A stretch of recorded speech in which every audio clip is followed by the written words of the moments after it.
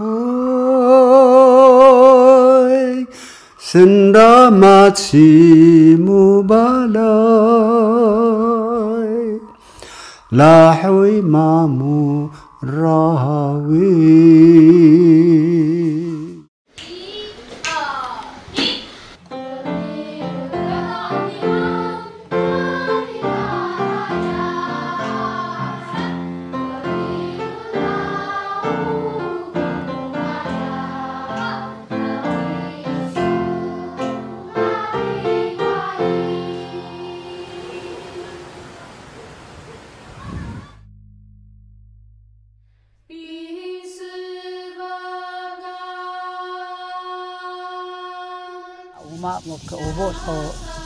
他做完来拉给安尼个，这个在这呢，其实呢，还有去他做完面，哎，还说，咱这安啊，yang nguru, misalnya ina ay matiyo so, kasawan banyak to ka, ay so, ada kira tako, mo eh, matiyo ka, laki sa agal mahal, kisa kajuji matiyo ari para ko para sinsi ka para eh kahal eh e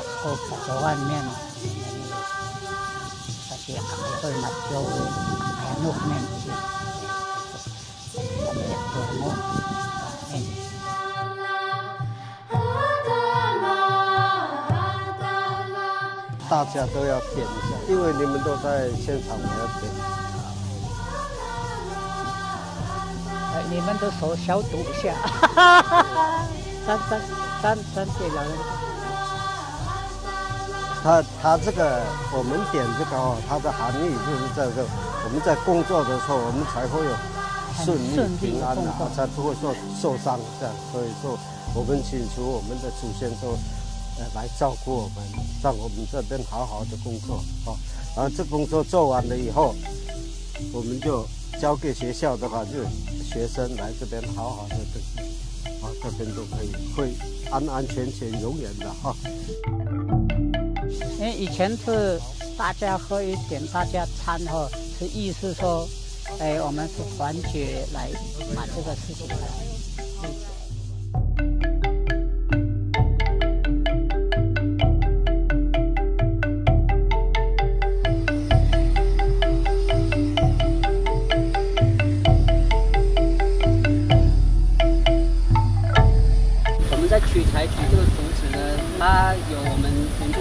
智慧哦，而我们在使在使用以前，它一定是会生生的这个竹子，所以我们会先烤，直接用烤的，把它的湿度，把那水分给它弄出来，因为它里面会有一层薄薄的油，我们就是要把那个油给它弄出来，它这个油的就是保护竹子的一个防腐的一个那个一个效果，到这个程度我们才有办法去开去做组装和竹子竹屋的建构这样。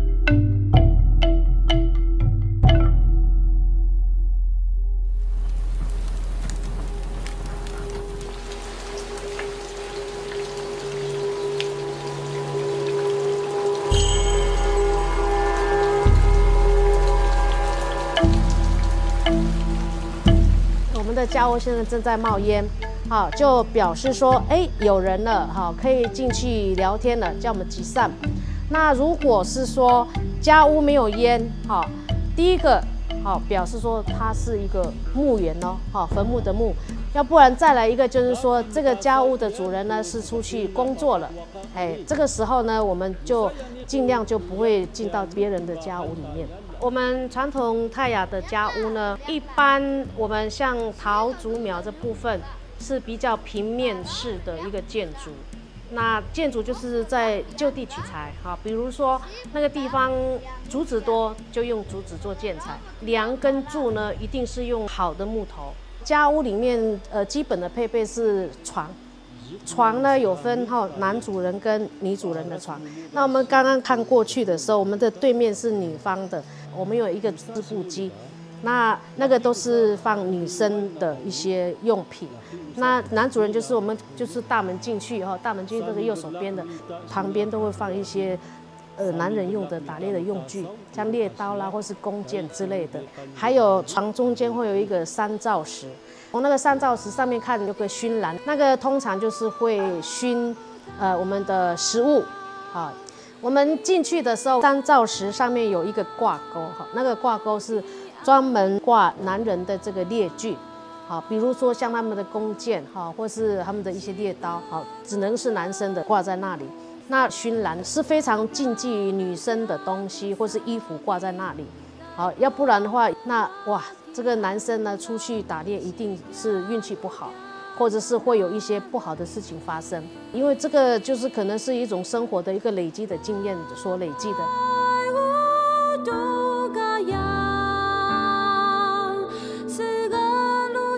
那谷仓呢？为什么会感觉它是高脚的哈？呃，因为是要防止防止一些老鼠啊、蛇啊之类的来吃我们的谷物在里面，所以呢，我们必须要把它高脚。这中间这里有一个叫有点碗那个地方，那个叫做防鼠板。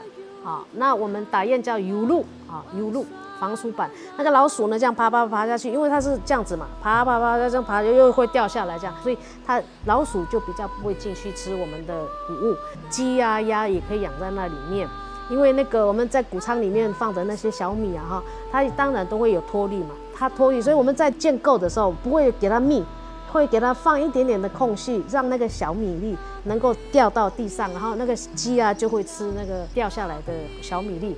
所以说，我们老人家呢，在做任何事情或者是在建构什么事情，他们不会只为人哈，也会为一些就是自己家里豢养的一些动物啊哈来设想。其实有些人会说奇怪，学校为什么会做一些？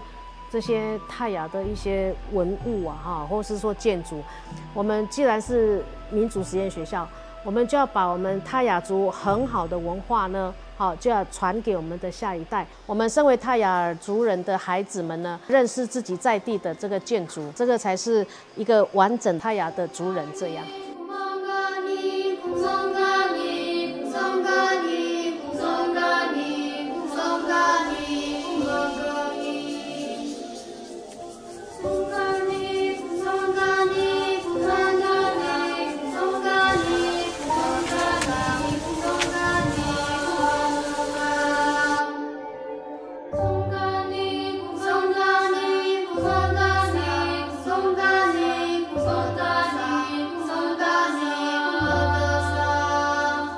以前在早期，老人家他们在做竹子的时候，已经会先想到竹子一定会，它一定会往下滴，所以他会想到说，下面一定要放一个沟，让它往下流，所以他们才会做一个阴阳沟来做结合这样子。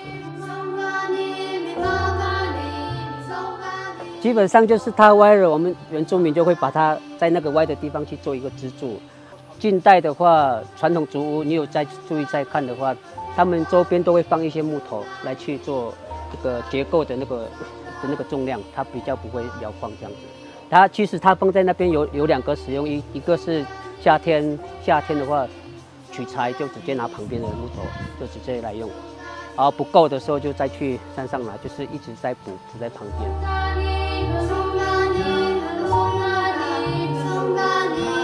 这个是要有一个老人家的经验哈，都是我们都是写老人家的。技术，所以说他传给我们，我们再传给小小孩子，这样一直传下去，不然不能忘本了。忘本的话，以后要做做做没有办法做出来了。所以说，他留给我们，我们留给小孩子，想一直留下去就对了。要不然的话，以后要盖，我们去山上啊，没有砖红砖，什么都没有，就是要用这个木头。要用这个，嗯很深山嘛，没办法背沙子啦，背什么，很方便，就是要用这个竹子跟木头，很好，这个很好用。这个东西为什么要一节一节的？它这个是放一个树枝，让它没有办法活动，给它夹着。哦，你没有放这个哈。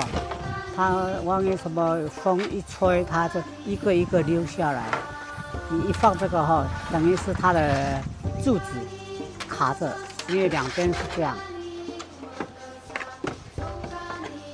它是这样，它这边下雨，它这边它这边有一个水沟，雨量会从这边走。原住民的那个利害关系就在这里。以前的房子都是用这个做的。早期真的生活很困难嘛，没有没有什么没有什么钱赚啊，然后父亲就是没有办法，呃，远洋那时候就是钱比较多嘛，啊，他就宁愿放弃跟我们在一起的时间，然后出去赚钱这样子。对，一个一个这么小，我就就出去赚钱。对，因为小时候很爱玩嘛，顽皮，然后老人家在父亲他们在做房子的时候，都是间接了解，也没有说去学到这个东西。然后在这些过程中，也看到父亲在做这个竹屋的坚持啊，跟他想要的东西，一直延伸到我们现在在做这个竹，他还是一样用那种功法跟那个坚持在做这件事。好，学你说学习吧，倒不如说是从小就耳濡入耳濡目染的。其实做这个竹，这次有这个机会做这个竹是荣幸啦，而且我们在做这些东西。也应该说是半回馈在这个部落里面，然后父亲他也很高兴啊，因为我们做我们合作过是有好几次，而这一次我们在做竹屋是特别慎重，因为是要给小朋友去实用性的东西。然后我父亲他在做这个竹屋，他又很坚持说一定要用传统的东西来去让小朋友知道这个东西这样子。然后我那时候的感想说，哎，还是。设计不要设计太过于那个前卫然后，还是还保留一点那个传统的竹屋跟工法，留给父亲来去做制作这样子。我们做这个竹屋哈，就是意思说我们继续这样下去工作，我们不要把这个老人家的传统不要忘记，所以说我们年轻人哦，就是一直持续的做下去，所以。后代后代，我们就一直传，不要忘记这个祖先留下来的那个祖屋。所以我们现在我们在做，有时候有时有些我我懂的，我就在跟小孩子说：哎，我们要怎么去做，怎么去做才有那个传统。都完全是做那个西式的话，就没有人相信。我们一定要做过去的老人家做的那个祖屋。我们要跟他一模一样，才是算数。说，哎，这个是还在这个传统。我们意思说，不要忘记，要继续下去传给小孩子。我父亲他在我们的工作这些过程中啊，因为我有跟他讨论过做这些东西，然后他因为我跟他讲说我们要做主屋，然后他就很他就跟我说他也想做，就像我爸爸讲，就传承这一块，他就。虽然这个过程中很累啊，尤其是立那个柱子，可是他是开心，他是快乐，因为他知道说我还可以再做这些东西，这样子。我来这边是跟鼓励小孩子做这个呃传统，所以说我很高兴他不没有忘记我们的祖先的做法，所以说我就在后面哦鼓励他，我也有什么工作哦就配合他工作。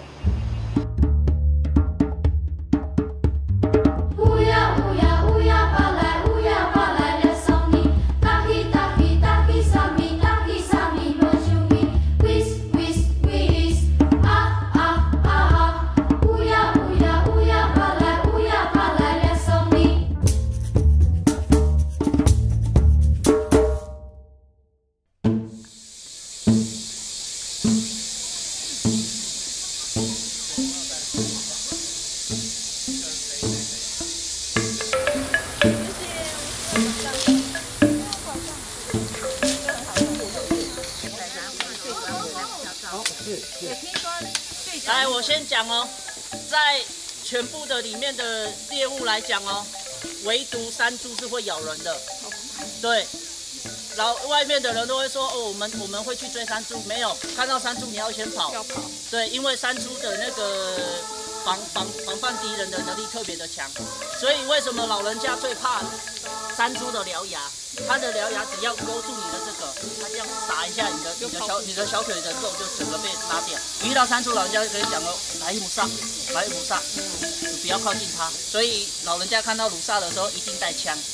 我们的山猪叫狗棍，狗棍的意思就是它是山上来的，对，野生的，野生的。我跟我爸爸每个假日一定都会去山上打猎，嗯，对，哪怕哪怕是哪怕是哎真的很忙，我爸爸一定会打问我说不。他的样貌，上去一下这样。有时候我们真的是喜欢上上生活，所以上去打猎下来的，第一个是老人家喜欢吃，第二个是第二个是什么？打我们我们在年轻人来讲，是我们觉得到三四十岁以后，我们我我们就变成说，可能我爸爸不在了，我还可以带我自己的小孩子去走我爸爸走过的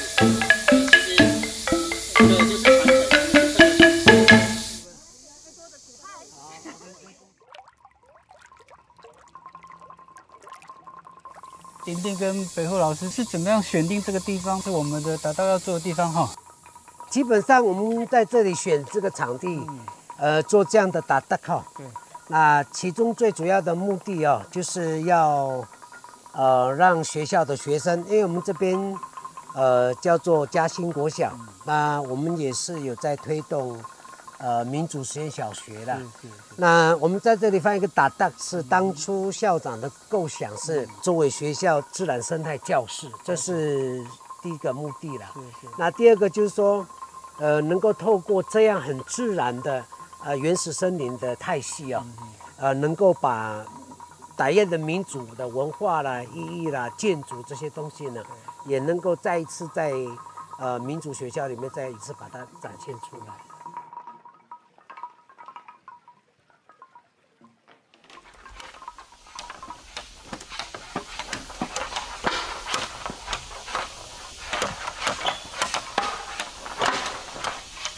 趁老人家在的时候，我们就继续学哦，他传承他们的技术，来这个功法不能忘记，要不然以后台湾原住民这个家屋就会消失了。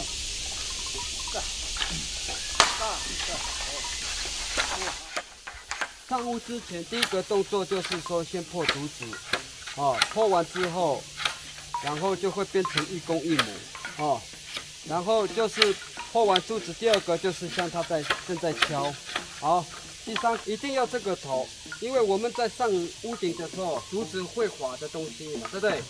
那这个上的之后，这边卡一个竹子，它就不会晃动。不简单的，你看，勾出来，量，对，然后这个让它掉，然后断，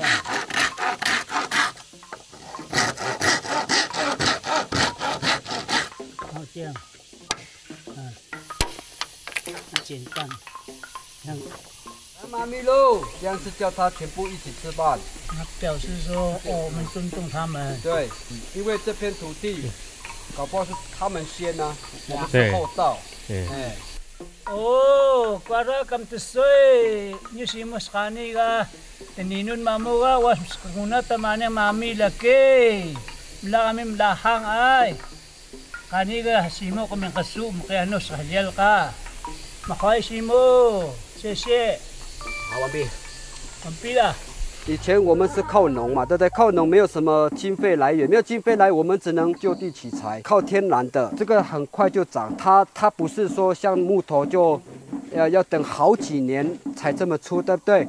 这个竹子两年三年就很粗了。你越是去砍它，越是去拿它，它会循环。我们在造的过程中，砍的竹子季节要对，哦，季节不对，很容易蛀虫，好容易坏掉。你只要做完一栋房子，大概会撑到二三十年没有问题。那现在就不一样了，气候变迁，温度很高，它就可能它的寿命啊十几年了、哎，那如果说你常常在里面取火的时候，有没有把那个呃那些有的人取掉，有没有？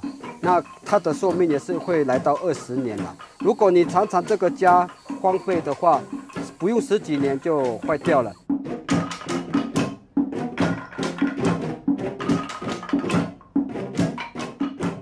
我也是学那个过去的老人家，我就已经弄了，哦，超过五十年前了，所以我就是一定要了解这些工作，要盖之前就是一定要先做。那那几个人在那边盖了哈，就是这样。以前我们的祖先都分布很广，所以我们要拿出我们以前祖先的智慧，不能忘本我们祖先所居住的地方是真正的是山林。我前几天过去那边还有遗迹啊，啊，在上面表示说我们这个曾曾经祖先在这边待过哦，我们不要忘祖先的根基呀。啊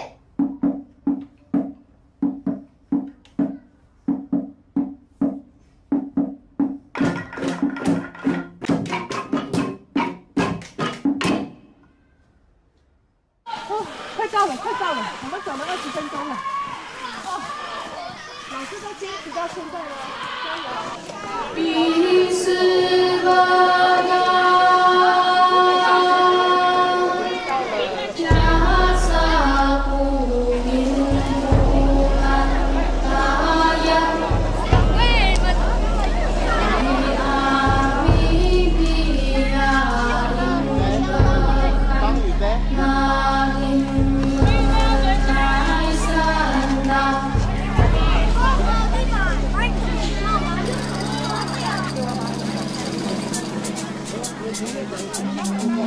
这个祖灵祭哈，我们打的是 Godas，哦，就是它的意思就是说我们要尊敬，尊敬我们的祖先，我们要感谢我们的祖灵。这一年来，我们有这么多的农作物，我们要举行我们的祖灵祭。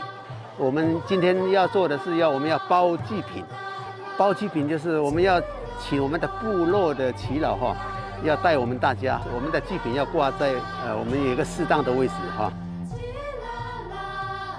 嘉兴国小的学生全部看我这边。当我说“楼嘎”，你要说“打雁”哦，哈，楼嘎，楼嘎。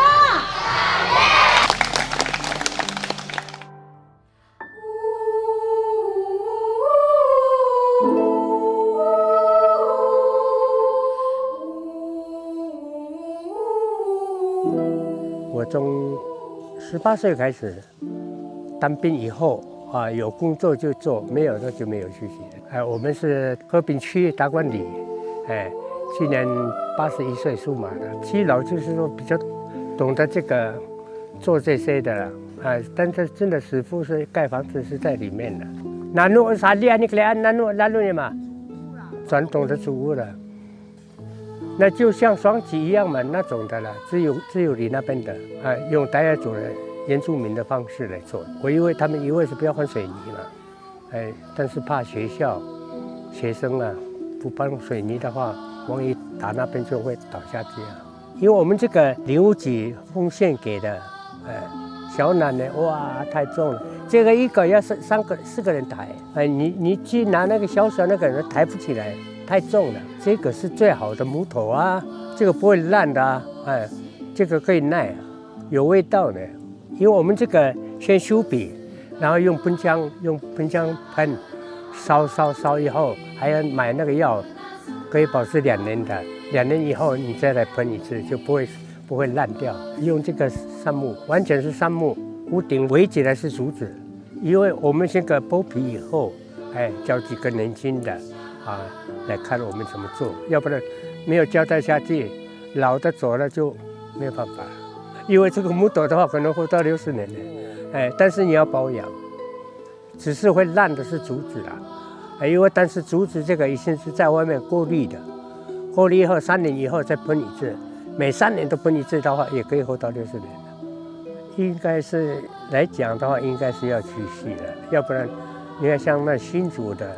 他他们的小孩子都是能够学传统的，大概是大概会学一些的，哎，完全是学是没有办法的。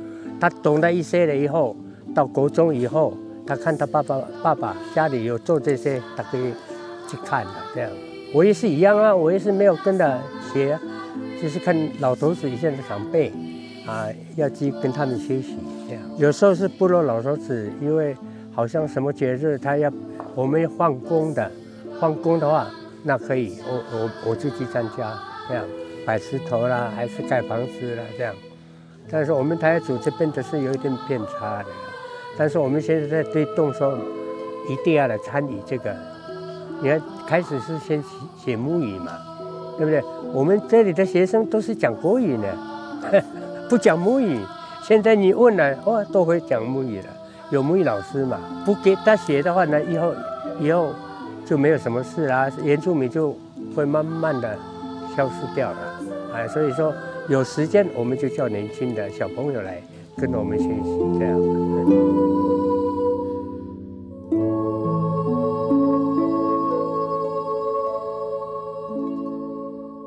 竹子对我们来说，我们都会拿来做很多东西吧。假如说像我们这一区的，我们的传统建筑就是像竹屋，然后竹的话也是用竹子做的。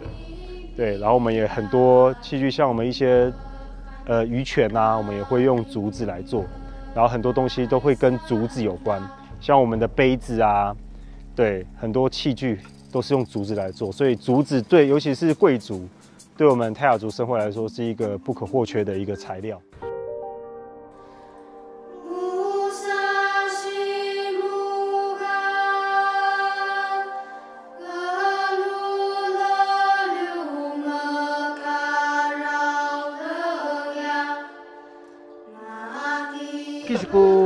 啊，其实我喊那个，个手边是还是，你你是去哄。啊，第一第一步是先先找一个固定点啊，固定点把这个那个藤藤藤皮啊，先先给它先给它固定，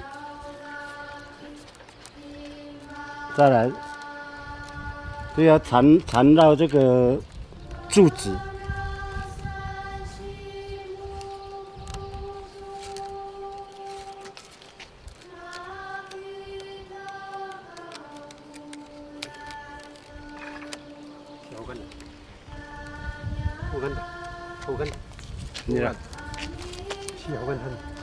一、一、一，小个，二十。嗯嗯。它这个藤皮跟绑绑这个柱子的话是交叉型的，交叉型，交叉型的。有些也的中间的，比较比较比较稳固了。嗯。好，再来是这个这个绑中间的话，它就等于就拉紧，更。一拉更更紧了，那个那个绑的那个那个踏板跟那个柱子就更更紧了。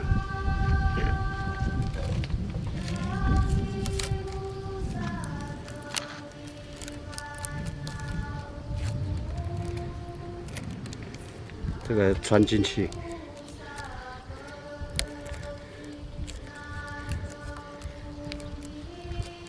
这样就完毕了。老大，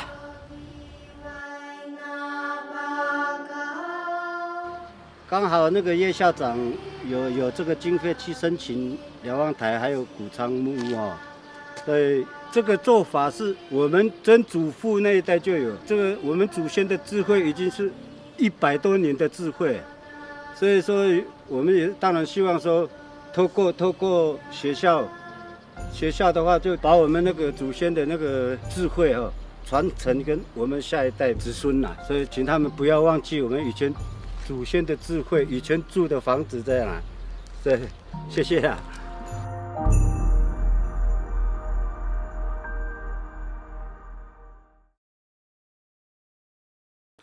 我